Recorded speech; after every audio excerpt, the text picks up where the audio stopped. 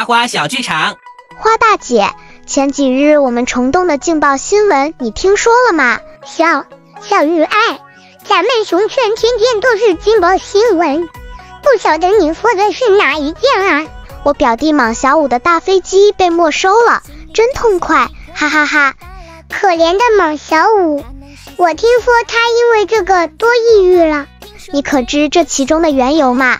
大馆长不是说天气越来越热了，因为他总是在里面贪玩不回家，怕他中暑才没收的吗？其实这都是我暗箱操作的结果。自从莽小五出生后，就集万千宠爱，大有把我这个二馆长拍在沙滩上的苗头。哼哼，爱姐卧侧之榻，岂容他人酣睡？于是我就给大馆长施压，迫于我的威胁。大馆长只有没收了芒小五所有的玩具，挫挫他的锐气。怎么样，花大姐？小鱼爱我的三十六计玩得很溜吧？佩服啊，小鱼爱。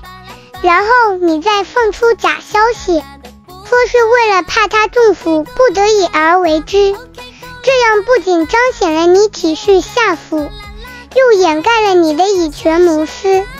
这招瞒天过海高，实在是高啊！哈哈哈，对付这种黄口小儿，简直就是易如反掌。可马小五是你的亲表弟啊，你这么做良心就不会痛吗？良心是个啥东东啊？有盆盆奶好喝吗？小鱼爱，跟你比，小花我还是略显善良滴。幸灾幸灾，说点有用的吧。鉴于我这次完美的表现。小鱼爱我，顿感自己才华无限，不应该就此埋没。我现在单方面宣布，由我出任我爱兰花花集团的危机公关部总经理，你看如何呀？同意。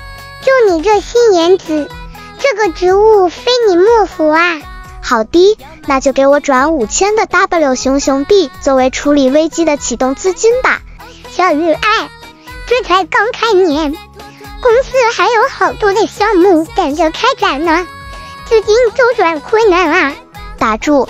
前两天斧头山的杠上炮送来密报，说你从四海那里通过卖惨赚了一个亿，分一半过来应该没啥困难吧？艾总，你你你别废话了！要是我把这事给捅出去，花总，你想过后果吗？艾总，区区五千个 W 算什么啊？